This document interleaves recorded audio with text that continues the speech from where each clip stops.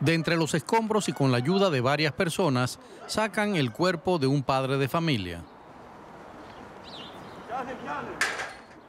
La hija llora desconsolada su pérdida. Se ha encontrado un segundo cuerpo. Los rescatistas de Busova han pasado de buscar sobrevivientes a recuperar cadáveres. Las fuerzas rusas han destruido por completo este pueblo al norte de la capital de Ucrania. Las autoridades han descubierto cuerpos de cientos de civiles en varias ciudades a las afueras de Kiev, lugares de donde el ejército ruso se retiró recientemente. Los ciudadanos de Chernigov, en el norte del país, lo han perdido todo. Gracias a un colchón aquí abajo, estamos sobreviviendo por ahora a la guerra. Natalia Titova ha perdido su casa. Esta pensionista ahora depende de la ayuda humanitaria.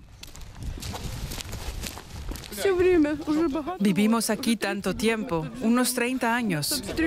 Bombardearon nuestra casa con todas nuestras cosas dentro. Demasiados ucranianos han muerto ya. Las acciones de los soldados rusos en Ucrania son atroces, atroces. Y aún así, Rusia no ha podido controlar ninguna de las grandes ciudades desde la invasión el 24 de febrero. Occidente se solidariza con sanciones sin precedentes contra Rusia y donando dinero y armamento.